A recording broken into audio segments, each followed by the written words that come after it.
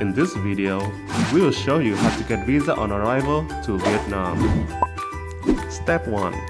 Register in our online visa application form. Visit vietnamtourpedia.com slash register online visa form.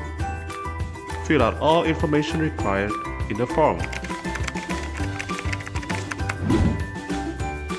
Step 2. Confirm and pay for the service fee. Double check the information again and select extra services if any. Hit submit.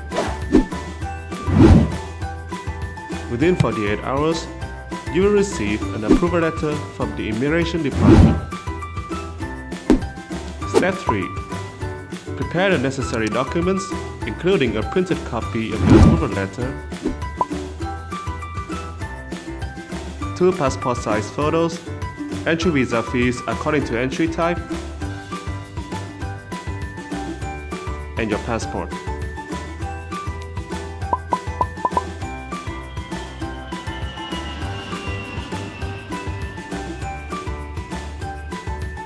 Step 4. Upon arrival at the airport in Vietnam, present the documents to the immigration officer who will then grant you a visa stamp. Step 5. Have a spectacular stay in Vietnam.